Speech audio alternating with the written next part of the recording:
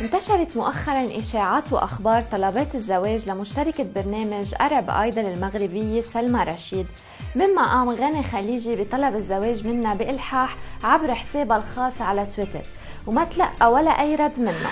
وترددت أخبار تانية حول وجود علاقة جدية بين سلمى وشاب مغربي.